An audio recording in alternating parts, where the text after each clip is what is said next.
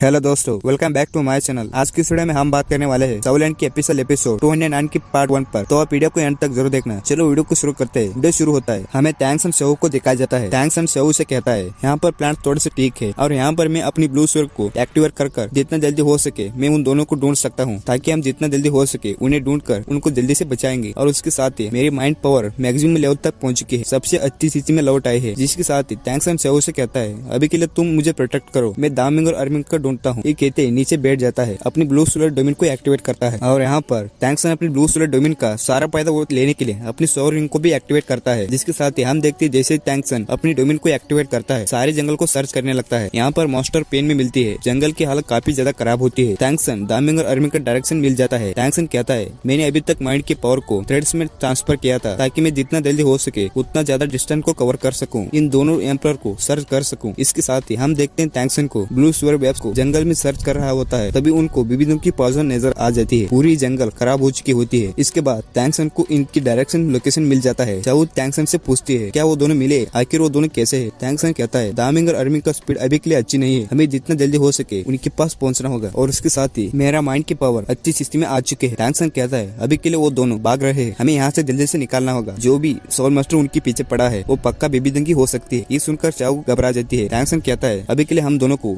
उसके पास पहुँचना होगा, मुझे ऐसा लगता है, उनकी और कम होती जा रहा है, वो दोनों ज़्यादा पेन में होंगे। मुझे ऐसा लग रहा है, ये फाइट एक या दो दिन से नहीं चल रहा, काफ़ी दिनों से चल रहा है। यहाँ पर चाऊ चाऊ रुक जाती है। टैंक्सन कहता है, मेरे लिए तुम फ़िक्र मत करो। मैं अभी के लिए जितना तो पावरफुल हो चुका हूँ। हम लोग उसे फाइट तो नहीं कर सकते। हम उन्हें रोक सकते हैं। जल्दी से तुम मेरी ट्रेजर पॉकेट में आ जाओ। मैं जितना जल्दी हो सके, उतना जल्दी भाग कर उन्हें बचा लूँगा। टैंक्सन अपनी स्पाइडर को निकाल कर वहाँ से तेज़ी से जाने लगता है। सीन शिफ्ट होता है। हमें दामिंग और अरमिंग को दिखाया जाता है, जो की बहुत ही तेज़ी से भाग रही होती है। इन दोनों के पीछे कम से कम छह सोल मास्टर पीछे पड़ी होती है। तभी दामिंग रुक कर इन सबको रोकने के लिए अपनी एक सोल टेक्निक को यूज़ करता है, जिसकी वजह से सोल मास्टर वहीं पर ही रुक कर जाम हो जाती है। फिर से ये दोनों भागने लग जाती है। दामिंग अर्मिंग से कहता है, मेरी ये सोल टेक्निक इनको कुछ देर के लिए रोक सकती है। हमेशा के लिए नहीं रोक सकती। ये फिर से आदास हो जाएँगे, फिर से हमारे पीछे पड़ जाएँगे। तभी अर्मिंग कहता है, ये लोग जरा भी अच्छा नहीं है। हमको काफ़ी ज़्यादा नुकसान पहुँचाया है। इन सारे सोल मास्टर में से वो दोनों सोल मास्टर है। उनकी प्यूजन स्किल टाइम को रोक सकती है। हम दोनों एक ही जगह पर जाम हो सकती है। वो काफ़ी ज़्यादा डेंजरस सोल टेक्निक है। ये दोनों इस टेक्निक को यूज़ ना किया हो तो हम इतना पेन में नहीं होते। हम देखते हैं उस सोल मास्टर को इस टेक्निक की आज़ाद हो जाती है फिर से उनकी पीछे पड़ जाती है। इसके बाद दामिंग दोबारा से कहता है ये वुमेन सारी हदें पार कर चुके हैं। इन सभी में से काफ़ी टेरिफाइंग सोल मास्टर है। वो मानव महिला है। इसकी ट्रेंथ काफ़ी ज़्यादा है। हम इन, हम इनके मुकाबला किया तो हम इसे कभी भी जीत नहीं सकते। वो हमें आसानी से हरा कर हमें मार सकती है। यहाँ पर दामिंग काफ़ी ज़्यादा तक चुका होता है। वो वहीं पर ही बेहोश हो जाता है। अर्मिंग इसको देख इसको उठाने की कोशिश करने लगता है। भाई हमें यहाँ से जितना जल्दी हो सके उतना जल्दी यहाँ से निकलना होगा। दामिंग उसे कहता है। अभी के लिए मैं इसे बर्दाश्त नहीं कर सकता। तुम मेरी फ़िक्र मत करो। तुम यहाँ से चले जाओ। अभी के लिए आने वाले टाइम में तुम्हें अकेला ही जीना होगा। मैं इसे संभालता हूँ। ये कहकर दामिंग खड़ा हो जाता है। कहता है, ये लोग मेरी सोल रिंग सोल बोन को लेना चाहते हैं। ये सब एक सपना है। इसके साथ ही अर्मिंग कहता है, मैं अभी के लिए तुम्हें अकेला नहीं छोड़ सकता। अभी के लिए मेरे पास अभी भी एक पावर है। ये कहते अर्मिंग अपनी ग्रेविटी कंट्रोल की डोमिन को एक्टिवेट करता है। इसकी वजह से सारे सोल मास्टर नीचे गिर जाती है। इसको देखकर फ्लावर ग्रैंड सोल मास्टर कहता है, अभी के लिए इतना इंजर तो हो चुकी है। फिर भी ये फाइट कर रहे हैं। काफ़ी ज़्यादा पावरफुल है। सच में ये दोनों टार डू फॉरेस्ट के एम्प्रर के होने के काबिल है। इनकी सोल रिंग को हमारे एम्पर ऑब्ज़र्व करने वाली है। इसके बाद हमारे एम्पर काफ़ी ज़्यादा पर्पल हो जाएगी। इसके बाद हम एक आवाज़ आती है। तो दोस्तों, यहाँ पर होता है हमारा सोल एंड एपिसोड की पार्ट वन कंप्लीट तो दोस्तों, वीडियो कैसे थे नीचे कमेंट करके ज़रूर बताना। और साथ ही वीडियो को लाइक ज़रूर कर देना। तो आने वाली वीडियो के लिए चैनल को सब्सक्राइब करना मत भूलिए मिलते हैं नेक्स्ट वीडियो में।